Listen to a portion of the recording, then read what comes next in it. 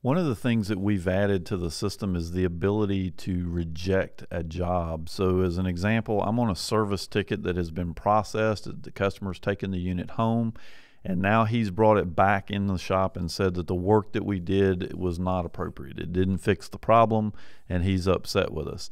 Well, in the past, we would just go in, create a new service ticket. We'd probably bill it to an internal, you know, to, to a, a special account to, to pay for it.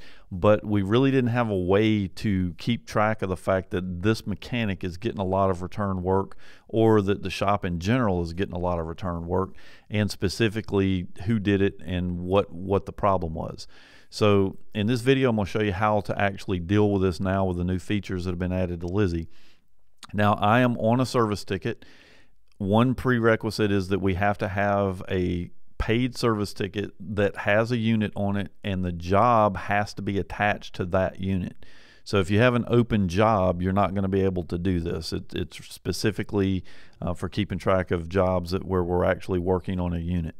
Um, so when I go in here, I've, I've got a, a, job here, it's processed, here's the unit, here's the job. If I open up the detail on the job, you'll see a new button that says the unit was returned for incomplete service.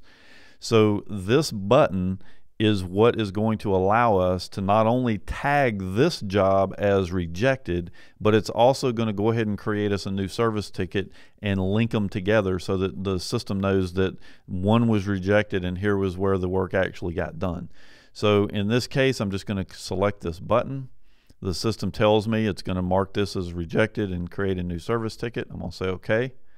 And so now we have a new service ticket same unit already attached. The repair job that we had done is here.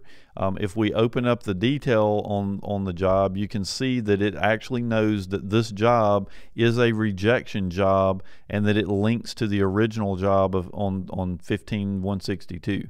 So the system knows exactly um, what you just did and it keeps track of that information for reporting purposes uh, when you're actually running mechanic performance reports and such.